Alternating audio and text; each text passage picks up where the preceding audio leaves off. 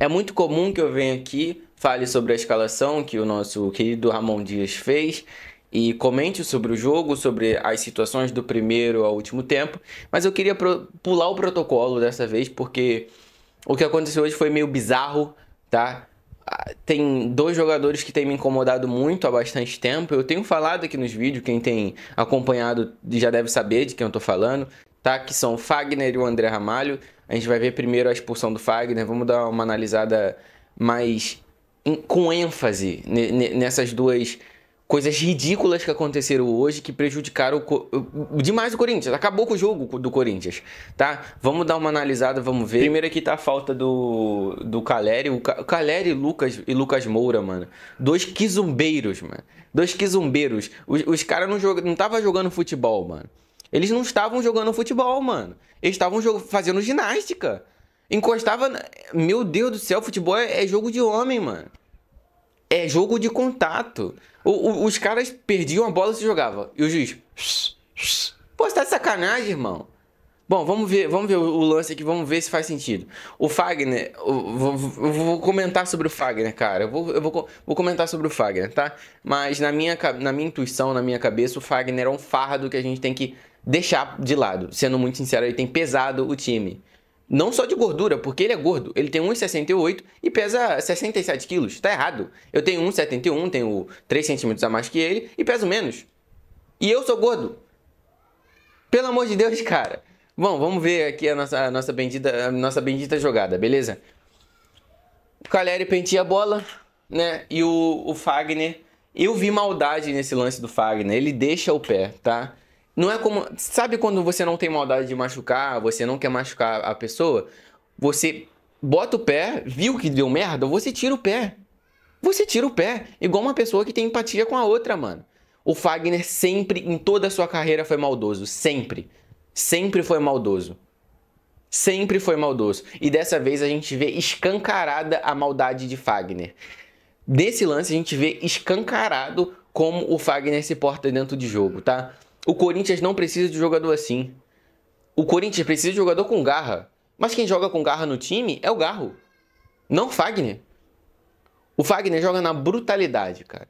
Brutalidade que hoje prejudicou e muito o Corinthians. Muito o Corinthians. Bom, essa jogada acaba acontecendo, o juiz vem no VAR, acaba olhando a jogada e decretando o cartão amarelo, né? De primeira, porque o Fagner já tinha um amarelo e acaba dando o vermelho, né? Então, assim, cara, é um jogador que hoje o Corinthians não precisa, tá? O Corinthians não precisa de um Fagner da vida. Um cara que a qualquer momento pode tomar o dois amarelo e receber um vermelho e deixar o time com menos um homem em campo. Então, a gente não precisa de jogadores assim, tá? A gente precisa de jogadores que tenham garra, sim, tenham garra. Assim como o Garro, assim como o Thales Magno quando entra. Assim como o Romero também. O Romero tem jogado bem ultimamente. Ele perdeu um gol muito fácil hoje, muito, muito feito, mas vamos relevar porque ele tem marcado sempre nos últimos jogos. Então, é relevar. E o segundo cara, né? Eu falei do primeiro, disse que seriam dois. Primeiro vem o Fagner, que não me desce, o Fagner tá no Corinthians ainda. Ah, o André Ramalho, cara. O André Ramalho, eu sempre. Já faz uns 4, 5 vídeos seguidos que eu venho comentando que o André Ramalho ele tem um defeito, que é a bola de meia altura, naquela meiuca, na, na meia bola do, da, da, da grande área. Ele sempre teve esse problema. Mas a gente vai relevando, porque às vezes é só azar e tá tudo bem. Os jogadores têm azar, tem fases, tem má fase, tem pós-fase, igual o Yuri Roberto, que tem jogado bem ultimamente. Mas esse, esse cara, mano, não me desce também, mano. Não me desce. Vamos, vamos, vamos ver o jogo. A bola já tava parada. Tudo bem que aqui o, o, o jogador ele foi foi dar um chapéu no, no André Ramalho. Mas o André Ramalho ele agiu com muita, mas muita brutalidade, mano. E tipo assim, tudo bem, não tem problema não, mano. Ele realmente ficou, ficou bolado porque recebeu um, um lençol com a bola parada, né? Esse juiz aí também, mano, pelo amor de Deus, que cara safado. Juiz safado. Beleza? Não quero falar do juiz, não, que esse negócio de juiz é, dá um problemaço. Mas. Bom, é, acabou recebendo o lençol e ele, mano, só deixou o cotovelo na cara do maluco, mano. Bizarro. É, assim. Lamentável, cenas lamentáveis, né? Porque. Vamos ver o que aconteceu. Logo, logo em seguida, meu Deus, eu não aguento mais. Aqui ele acaba coisando, né? Dá a grande cotovelada no, nele. O, o cara fica vendo, não vai se, se condenado, né? Aqui já pulou pra escalação, já, porque eu ia falar de escalação. Mas ele acaba tomando um cartão vermelho também, o André Ramalho. Então, cara, dois cartões vermelhos e uma partida. E o Roberto ainda conseguiu fazer um, né? A gente vai ver dentro do jogo. Triste, sim, simplesmente triste. Mas vamos pra escalação e vamos ver o que o Ramon Dias estava pensando. Esse estranho também, outro estranho, mano. Vamos ver o que ele estava pensando, beleza? Você não deixou o like, mano? Deixa o like aí, mano. Ou também não, que o Corinthians perdeu, mas deixa o like. Ativa o sininho, mano. Sim, é importante. Valeu. Tamo junto, continua o vídeo aí. Bom, goleiro Hugo Souza, hoje acredito que a gente só não tomou mais gol por conta desse cara aqui.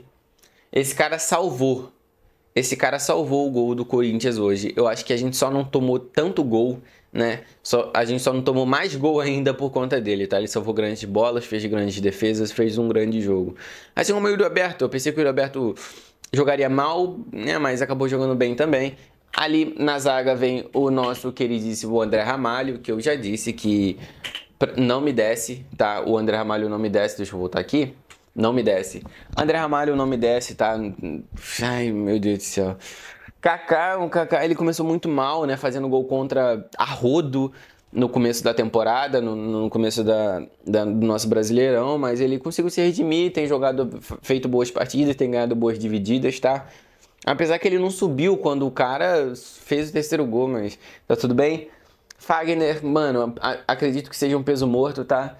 Fagner, ele, ele tem jogadores melhor. Tá entendendo? Não que o Fagner seja ruim em si, mas ele tem, tem jogadores melhor para função. Bom, tem o nosso Matheus Bidu. Matheus Bidu, o no passe hoje foi tenebroso, péssimo. A gente vai ver é, também nesse vídeo. Cara, eu tô, eu tô farto. Eu tô, só tô farto, eu tô triste, mano.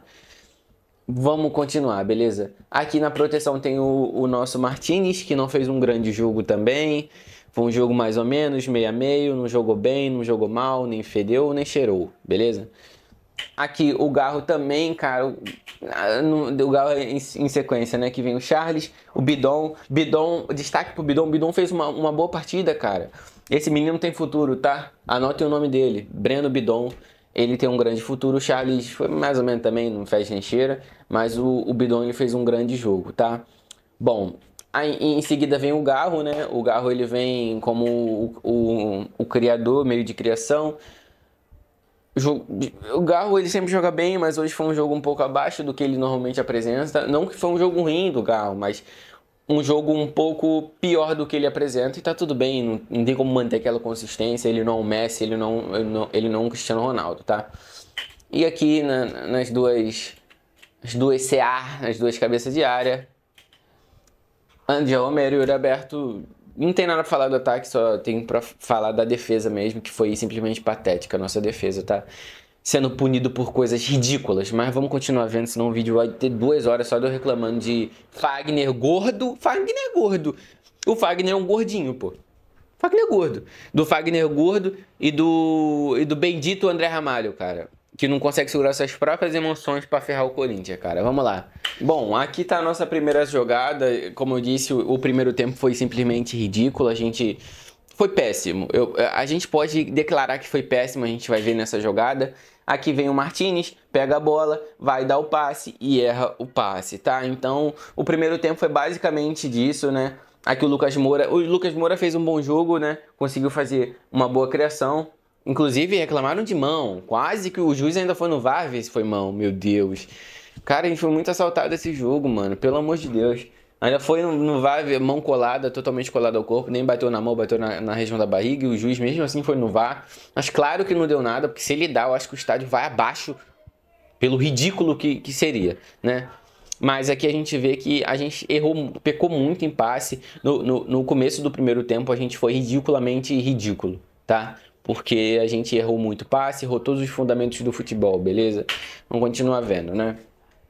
Já na sequência, tem o, como eu falei, o Bidon, cara, ele quase deu uma bicicleta. Sim, o, o, o, o Breno Bidon quase deu uma bicicleta, moleque. Eu gosto muito desse cara, eu acho que ele tem futuro no futebol, tá? Eu acho que ele tem futuro no Corinthians, ele é um bom jogador, o Breno Bidon é um bom jogador.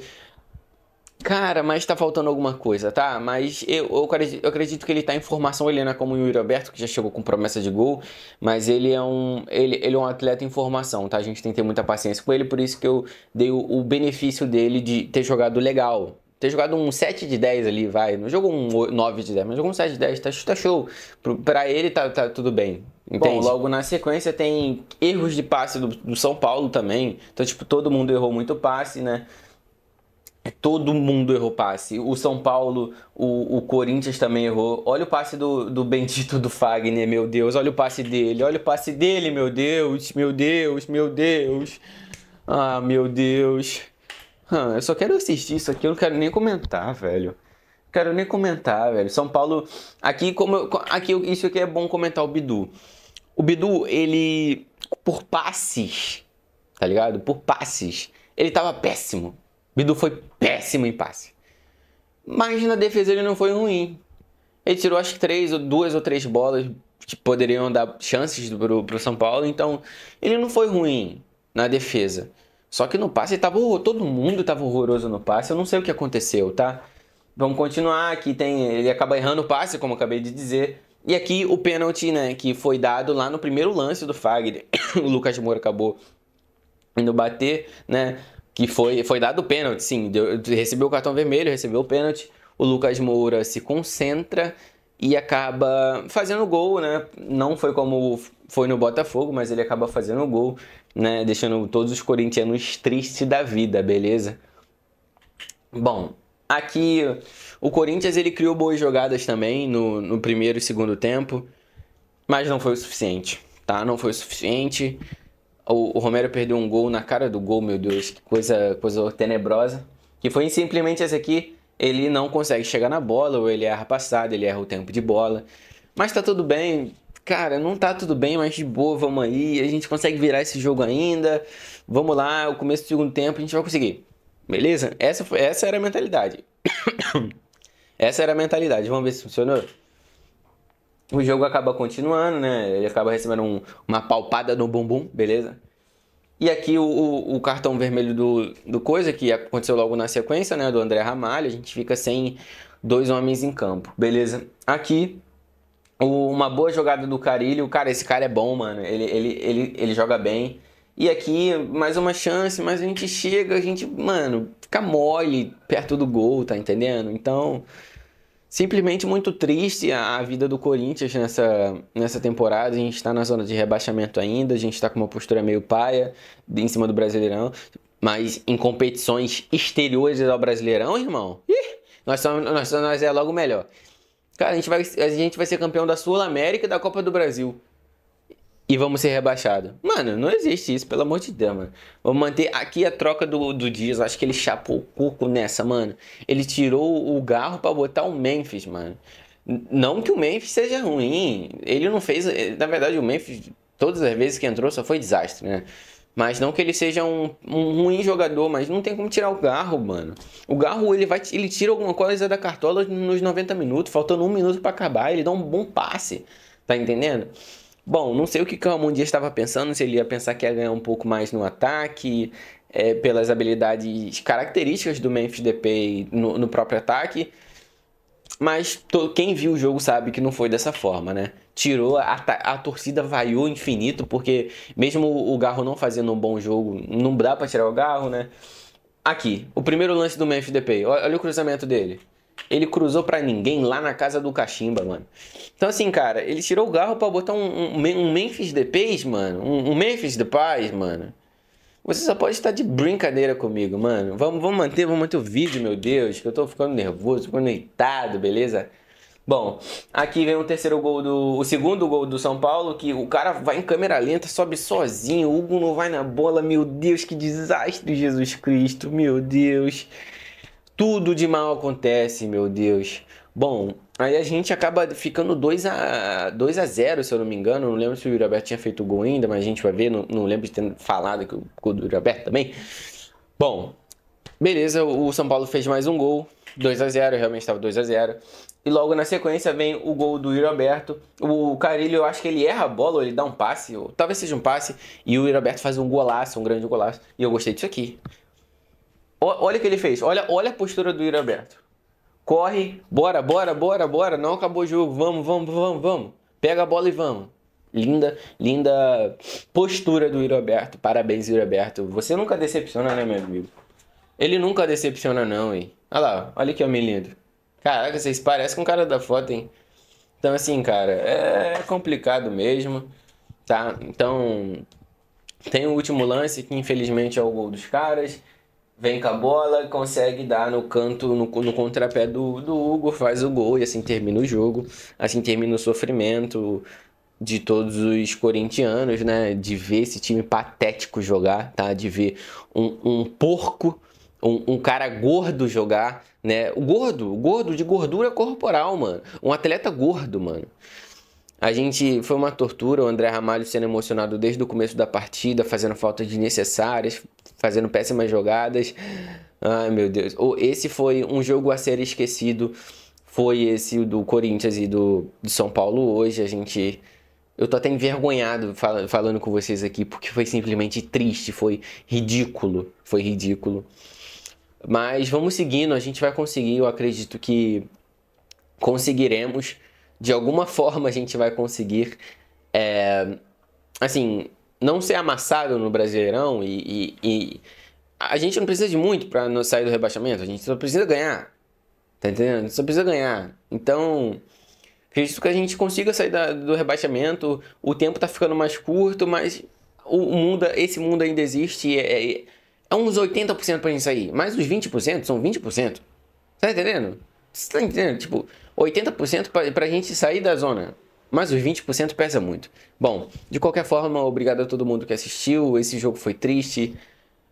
E é isso, cara. Eu não tenho nem mais nada que falar. Obrigado a, to a todos. Deixa o like, curte, compartilha. Sei lá, faz nada aí também. Se eu não quiser fazer nada, problema é seu. E é isso, mano. Muito obrigado. Vai Corinthians e, e é isso. Valeu!